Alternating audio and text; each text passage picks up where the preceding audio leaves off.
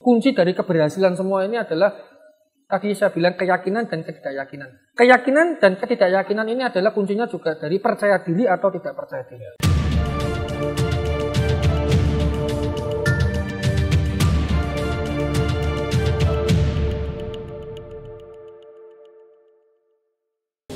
Tom MC Play, founder Top Coach Indonesia. Hari ini kita kedatangan tamu yang luar biasa. By the way, bukan kedatangan tamu. Ini adalah tempat di mana sebuah sejarah terjadi.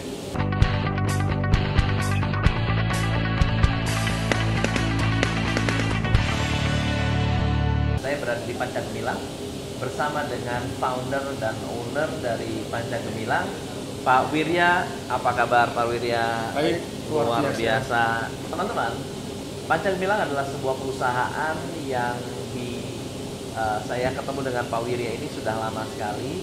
Dan beliau adalah orang yang menurut saya sangat luar biasa.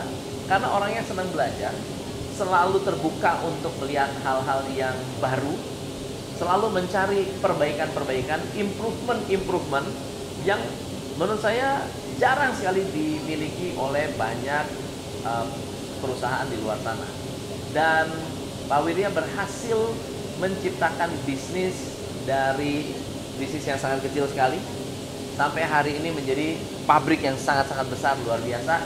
Mari kita belajar apa kiat-kiat sukses beliau menciptakan bisnis dari nol sampai luar biasa.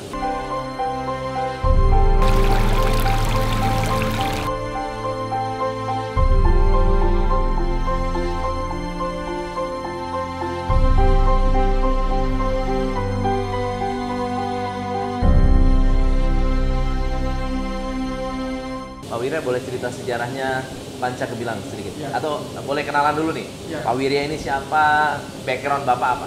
Ya, jadi sebelumnya saya perkenalkan dulu, saya Wirya Purwasa Muda, aslinya Semarang. Dan kebetulan saya pernah kuliah di bidang yang akhirnya tidak saya tekuni. Oh, Saya lulusan arsitektur Universitas Diponegoro, Fakultas Teknik Jurusan Arsitektur. Kemudian saya juga sempat kuliah S2 di Magister Komputer, yaitu di Teknik Informatika di Nuswantoro S2. Dan memang perusahaan plastik ini berdiri dari kecil, dari awal, dari karyawan satu. karyawan satu. satu. Namun sebelum saya memulai dari karyawan satu yang sekarang sekitar sudah menjadi 300, ada sejarah yang perlu ya sedikit saya ceritakan, Coach. Yes, yes. Karena memang dari karyawan satu ini ter- Terus bertambah. terus bertumbuh dan ke- berkembang bukan karena saya belajar yang baru yang pertama tapi Ah. sebelumnya saya pernah kerja dengan orang jadi Oke. ketika saya lulus di jurusan arsitektur tahun 1996 tepatnya 22 tahun yang lalu saya sempat kerja sekitar 4 tahun di perusahaan manufacturing namun bidangnya kayu mebel mebel furniture kayu Sebelum memulai bisnis ini, Iya. Bapak sudah jadi karyawan dulu. pernah jadi karyawan Pernah jadi karyawan 4 tahun. 4 tahun Umur berapa waktu itu? 24 24. Jadi lulus kuliah, saya langsung kerja di bidang perkayuan dan industri. Dan itu hanya 4 tahun. Empat tahun, kalau bos saya bilang ya pengalaman saya bukan empat tahun. Nah, Karena saya kerja pagi, sore, siang, malam, minggu masuk. Jadi Ya, kerja paling nggak keras. satu setengah kalinya. Bekerja lebih keras daripada yang lain. Karena dituntut untuk keras. Oke. Dan di situ pun juga saya mendapatkan banyak ilmu Hmm. karena di situ waktu saya kerja itu karyawan baru sekitar 100. Oke. Ketika saya resign di situ sudah 500. 100 ke 500. Wow. dan sebelumnya memang eh, ya itu dari 100 ke 500 kan tidak langsung serta merta juga Oke. ada proses tahapan juga.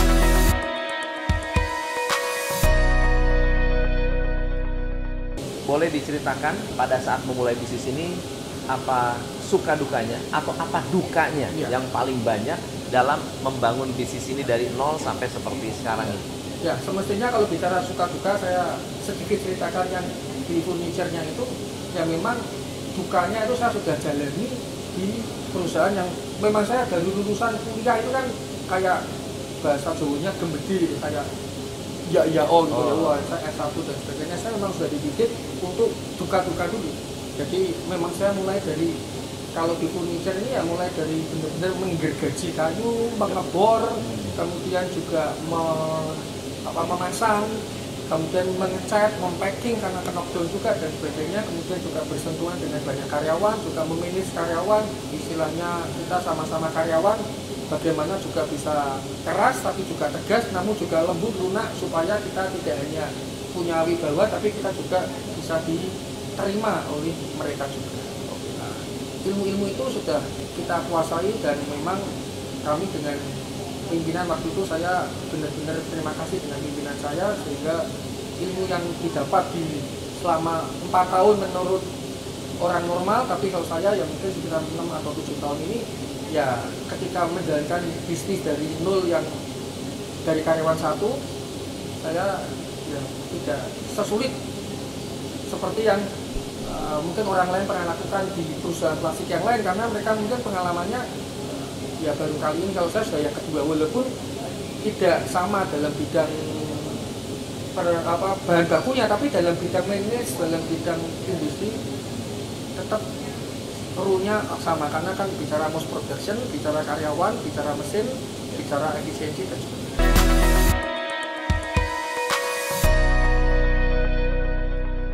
apa yang merupakan kunci-kunci yang dilakukan oleh Pak Wirya sehingga bisa mengembangkan bisnis dari satu karyawan ke 300 karyawan? Ya, ya karena memang yang pertama keyakinan diri. Keyakinan ya, ya, karena saya sudah pernah punya pengalaman yang melipat gandakan karyawan ya mestinya saya yakin pun bisa. apalagi ini kami perusahaan keluarga di Pantai Gemilang ini adalah perusahaan yang awalnya dirintis oleh almarhum mertua saya, bapak mertua saya, dan sekarang kami pun juga masih bekerja sama dengan dengan saudara-saudara. Namun untuk bangsa Gemilang ini kami saya dan istri full authority dan saya direkturnya. Namun tetap hal-hal teknis atau hal-hal yang sebenarnya krusial pun kami tetap di backup. Jadi memang pertumbuhannya dari segi teknis yang uh, terutama urusan-urusan mesin, urusan yang elektrikal atau mungkin supplier bahan-bahan baku itu kita sudah pakai nama besar dari uh, orang tua dan kakak saya sehingga kami bukan tidak kesulitan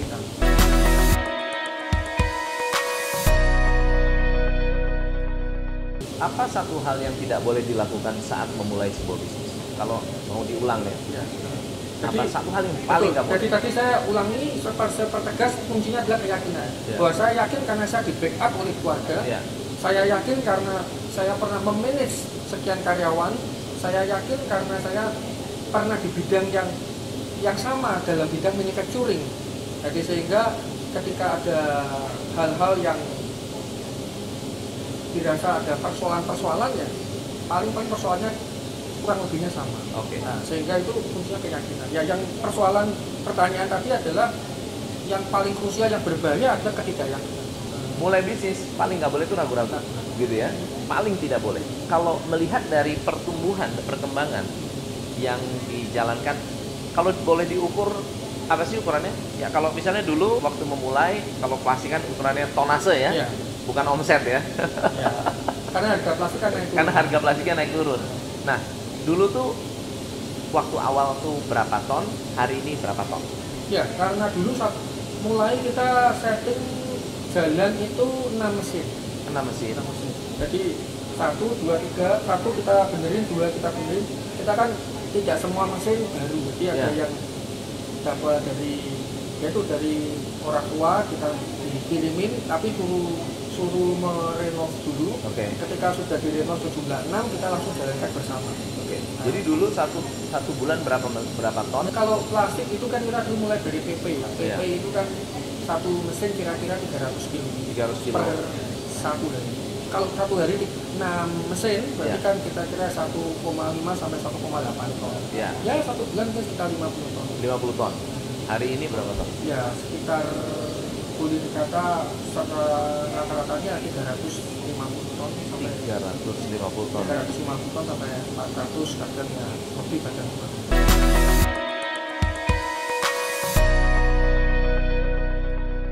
apa yang paling sulit dalam menjalankan sebuah bisnis? Yang paling sulit manage murah. Apa apa yang Bapak lakukan untuk membuat ngelola orang itu gampang, kontrol orang itu gampang. Apa yang Bapak lakukan?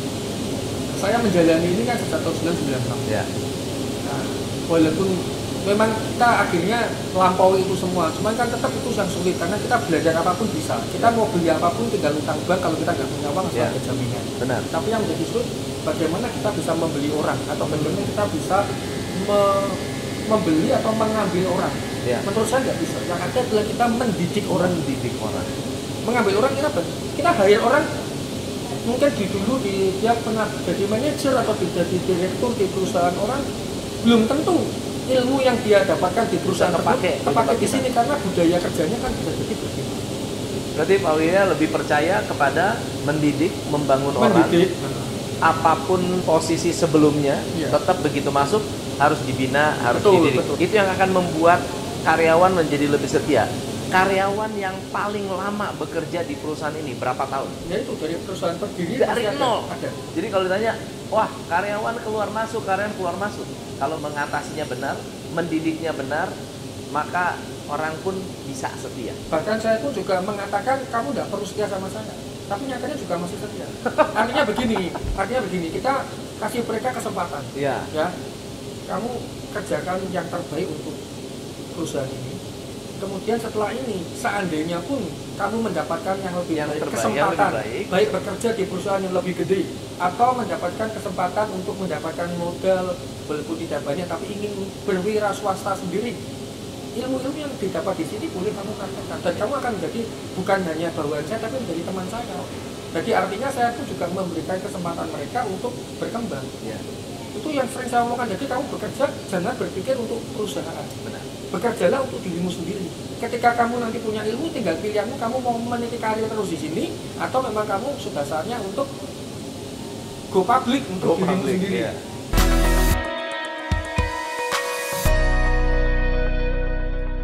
Pak Wirya, saya mau memberikan eh, apa namanya masukan kepada kawan-kawan yang sedang menonton hari ini. Saya kenal Pak Wirya. Pak Wirya ini sangat concern dengan yang namanya quality. Pak Wirya ini marketingnya tidak terlalu agresif seperti orang-orang di luar sana. Komplainnya banyak, marketingnya heboh, tapi komplainnya banyak. Nah, Pak Wirya ini punya ilmu yang luar biasa, yaitu bagaimana mempertahankan konsumen.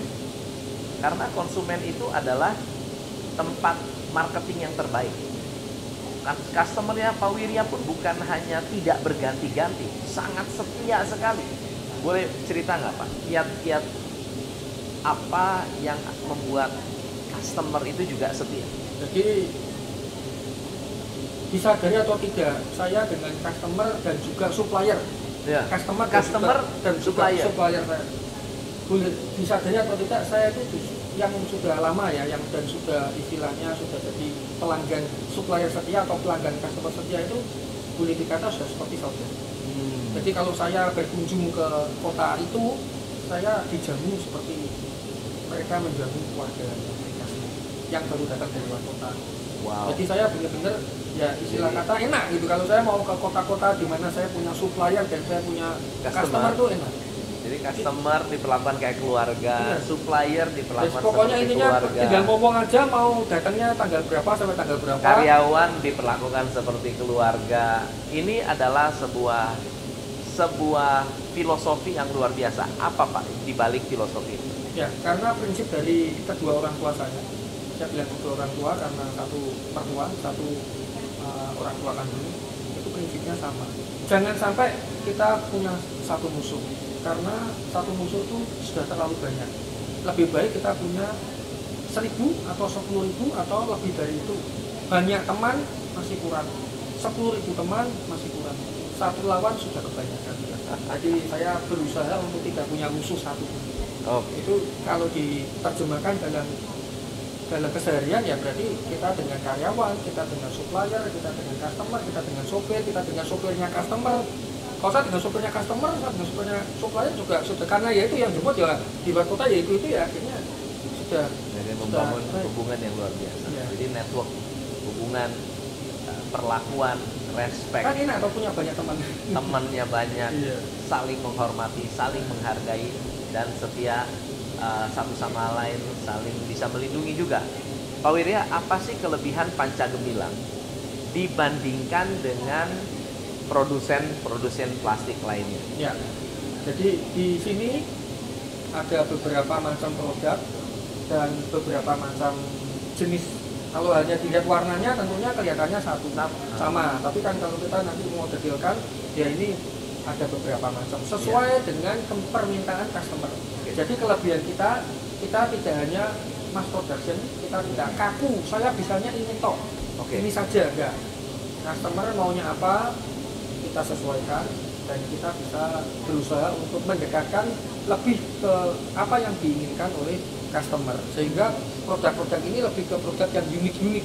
Produk unik untuk customer ini ini walaupun mungkin secara uh, manufacturing kurang efisien karena banyak produk tidak monoton produknya macam-macam.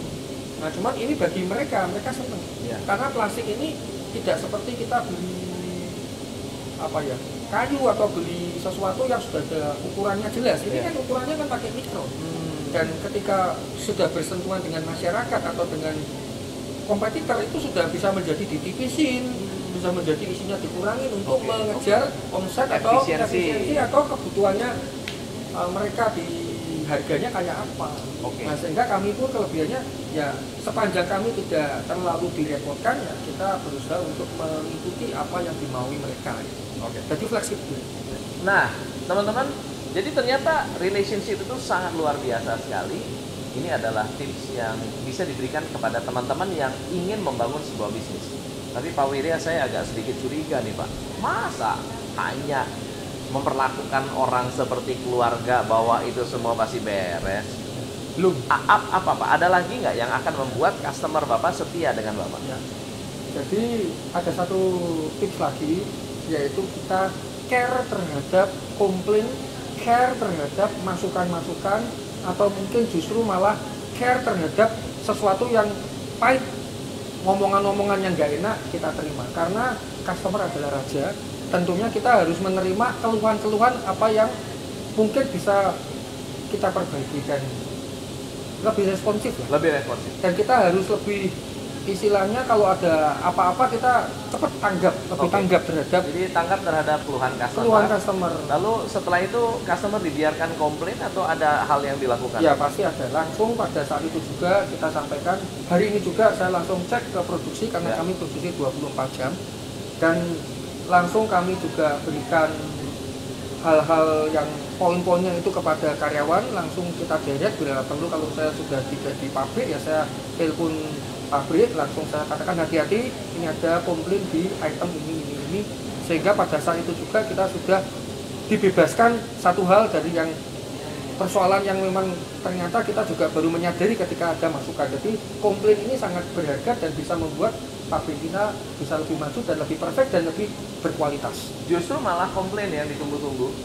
Atau komplain itu benar-benar diterima dengan baik bukan ditolak. Tapi ada poin penting tadi yang disampaikan terakhir yaitu, yaitu Pak Wirya sangat perhatian sekali dengan yang namanya kualitas.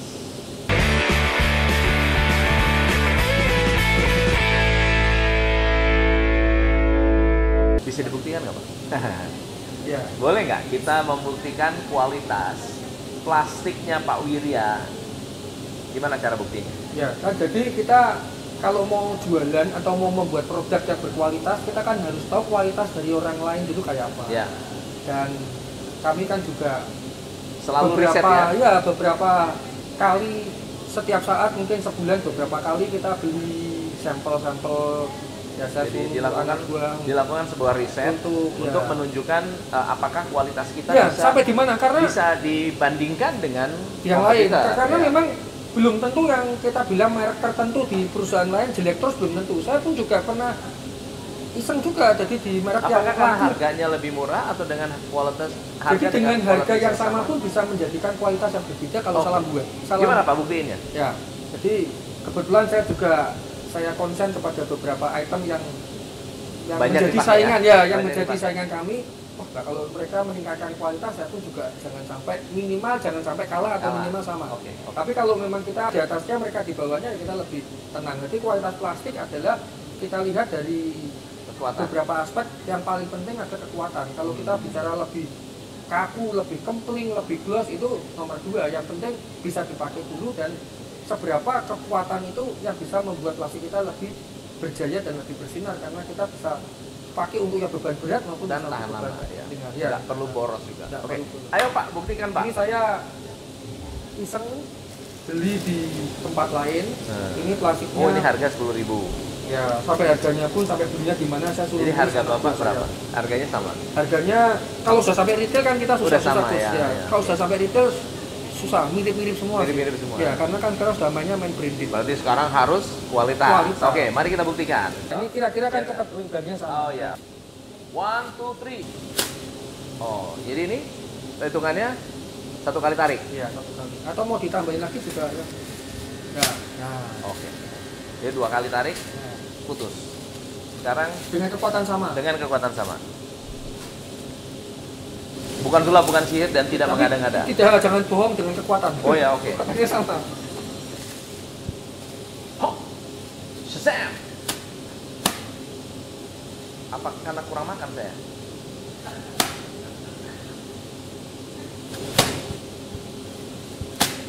Akhirnya memang sudah makan. Oh ini udah makan. Ya. Kalau tadi yang terakhir emang agak sedikit maksain. Oh. Nah ini dengan kekuatan yang sama loh. Oh ya. Tadi ini sangat lentur sekali. Jadi mungkin beban berat pun dia bisa Iya. bisa tahan ya. So baru Ini saya percaya, loh ya? baru percaya Enggak, loh ya? kualitinya keren. Ini, ini serius bukan bukan rekayasa, bukan karena punya saya dipelan-pelanin. Jangan-jangan terbalik, ini punya oh, ini, oh enggak ya, nggak Ya, mungkin. nanti dilihat aja nanti di pasar. Ini harus lihat trennya. Nah, terakhir Pak Wirya.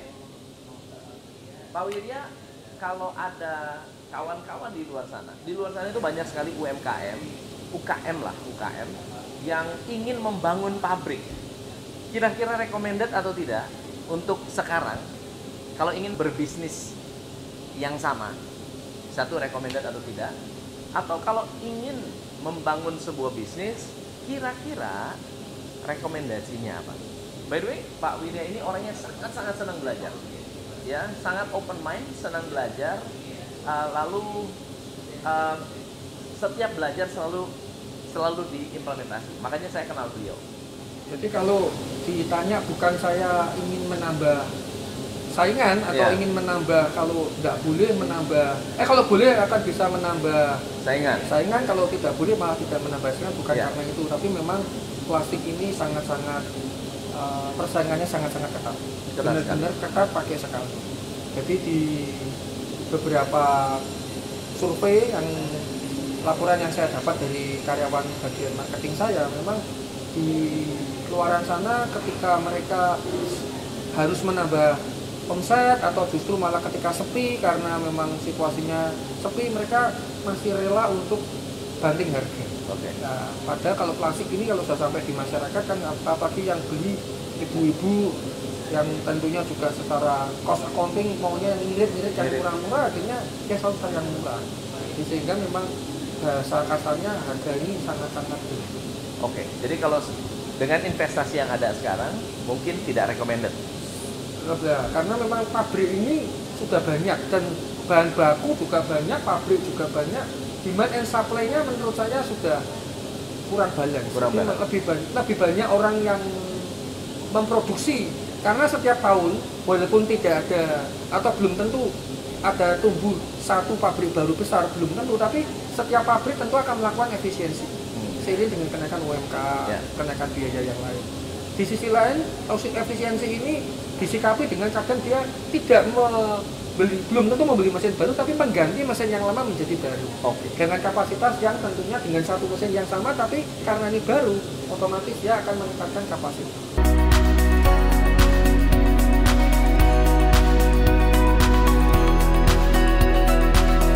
Kalau satu rekomendasi untuk para pengusaha yang masih muda, yang punya banyak tantangan, yang sekarang kadang-kadang merasa uh, tidak percaya diri, nggak nggak confident, ada ada rekomendasi. Ya, memang justru kunci dari keberhasilan semua ini adalah tadi saya bilang keyakinan dan ketidakyakinan. keyakinan dan ketidakyakinan ini adalah kuncinya juga dari percaya diri atau tidak percaya diri. Ya. Kalau kita yakin pasti kita punya percaya diri. Atau kalau kita percaya diri pasti kita yakin. Ya. Karena kita tidak percaya diri jadi kita tidak yakin. Atau karena tidak yakin kita jadi tidak percaya diri. Nah, bisnis yang menggiurkan adalah bisnis Fokus bisnis atau kita buat konsultan bisnis atau Ya. apa pun. Sehingga kita akan diharapkan atau akan menjadi eh, pengharapan dari pabrik-pabrik yang agak kesulitan. Tidak semua pimpinan perusahaan punya percaya diri. Dia mungkin bisa percaya diri dengan customer, dengan supplier, tapi kalau dengan karyawan belum tentu percaya diri. Jadi mereka jadi tidak percaya diri karena kadang kalau pimpinan itu atau manajer atau director atau pimpinan terlalu keras kepada karyawan, terlalu galak, akhirnya kan banyak yang keluar, tidak kerasa. Jadi percaya dirinya ketika memarahin, tapi tidak percaya diri ketika setelah Resign. keluar. Loh, kok berarti kok anu ya saya tidak diterima atau tidak cocok dengan karyawan. Atau sebaliknya, ketika kita diem-diem kepada karyawan tapi tidak memberikan mereka input masukan, mereka bergeliat tapi tidak diarahkan di tertentu sehingga mereka menjadi dalam tanda kutip liar tapi tidak terkontrol, kita juga lebih susah lagi untuk menata gitu. Nah, saya bisa ngomong gini pun saya pun masih dalam posisi sekarang setelah belasan tahun ini kita mendirikan perusahaan pun masih harus menata karyawan juga jadi masih banyak juga karyawan saya yang masih perlu kita berikan sentuhan-sentuhan itu sentuhan-sentuhan ini memang kita banyak masukan dari Coach Tom, dari Coach Rifki, Coach Suami, Coach Suham bahwa bisnis yang sehat adalah kita paling penting menyehatkan dulu mentalitas, menyehatkan dulu performa daripada karyawan-karyawan atau people power kita. Very good.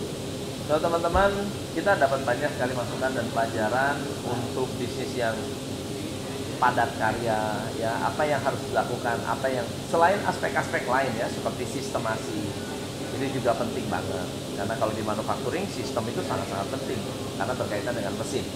Kemudian kualitas juga sangat penting. Tetapi yang lebih penting lagi adalah membuat SDM ini terdidik oleh kita.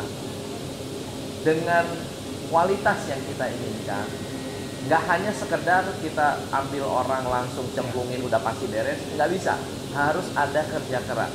Yang kedua adalah membangun relasi yang sangat-sangat erat dengan customer, supplier, employee, karyawan yang akan membantu bisnis kita menjadi lebih bertahan. Dan yang ketiga tadi saya mendapatkan apa intisari dari apa yang Pak Wirya katakan be confident.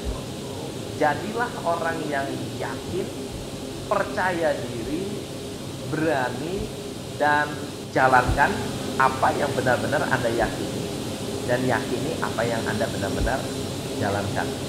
Itu adalah hal yang menurut saya sangat luar biasa. Kesimpulan dari interview kita hari ini belajar dari orang luar biasa Pak Wirya. Thank you so much Pak Wirya. Ya. Sampai jumpa di lain kesempatan. So, thank you so much. Salam pencerahan. Hanya di Top Coach Indonesia